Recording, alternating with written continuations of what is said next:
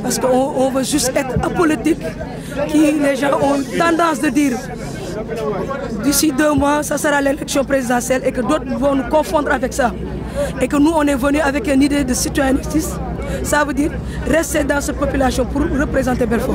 Oui. Ce qu'on réclame complètement, vous avez vu en tant que journaliste, ce qui passe dans euh, 54 mètres, ça fait neuf mois que l'éclairage, ça se commence là, où nous sommes aujourd'hui, on a arrêté notre match.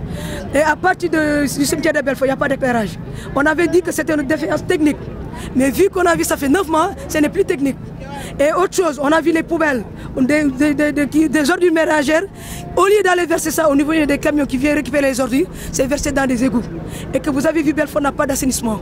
Et à cause de ça, les femmes, nos mamans, nos pères, nos enfants versent leurs ordures au niveau de ces caniveaux. Parce qu'il n'y a pas de route qui peut mener euh, des, des, camions au niveau de Belfort. Ce qu'on on essaie de justifier, on a une euh, maternité qui est là, qui est en phase hivernale. Les femmes enceintes, nos mamans ou bien nos sœurs, pour arriver avoir l'accès au niveau de ces dispensaires, il faut qu'on les mette sur des bourrières.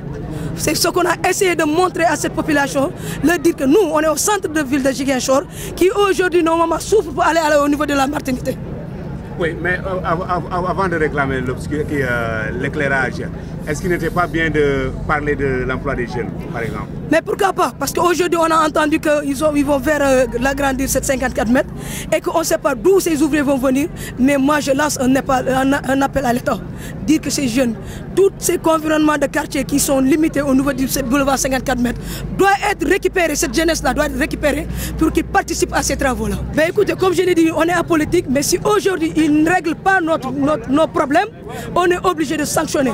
Parce qu'on ne peut pas vivre 46 ans de calvaire, de l'inondation, de manque d'assainissement à Belfort. Ça suffit.